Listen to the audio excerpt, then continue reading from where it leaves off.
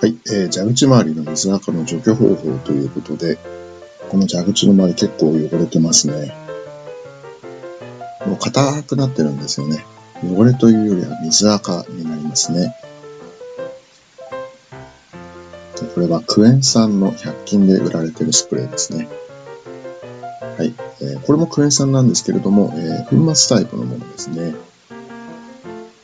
磨き粉として使っていこうと思います。ントがこれですね、黒文字。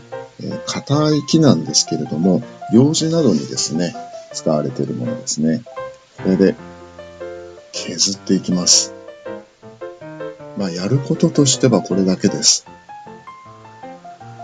地道にこすっていきます。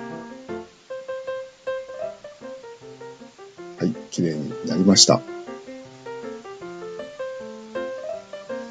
はい。えっ、ー、と、水垢なんですけれども、えー、クエン酸を使いますが、酸が効くんですよね。で、まあ実際にですね、このクエン酸というものは、それほど効果はないんですけれども、まあ、あの、粉末についてはですね、えー、磨き粉代わりに使うというような意図で使用します。で、重要なのが、えー、こちらでですね、これはね、100均で売られている、あの、和菓子のね、串などに、え使う、え黒文字ですけれども、結構硬いんですよね。で金属などを使ってしまうと、えー、洗面台をね、傷つけてしまうことがありますので、えー、木を使ってます。はい。ひたすら磨き込んでいくと。はい。で、次は排水口ですね。このヘアキャッチャー、まず、これがちょっと汚れてます。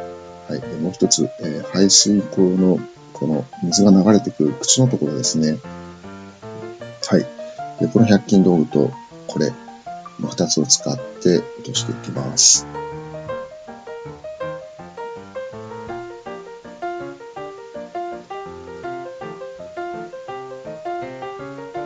はい。結構綺麗になりましたね。はい。次が、えー、ヘアキャッチャーの方ですけれども、ップで、え、水が流れないように塞ぎます。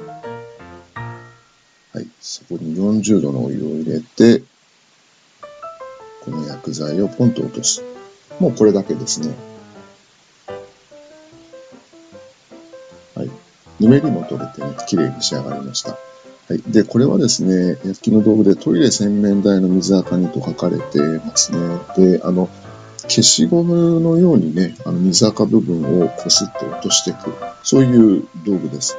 頑固なものについては、ちょっとなかなかこれだけでは難しいかなと思います。で、もう一つ、これもトイレ用洗浄剤、えー、というふうになっておりますけども、もちろんトイレだけじゃなく、えー、使用することはできるんですが、えー、塩素系ですので、え使用上はですね、え酸性の洗剤と絶対に一緒に使ってはいけないというものになります。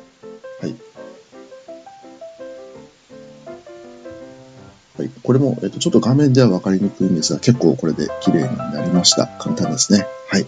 どうもご視聴ありがとうございました。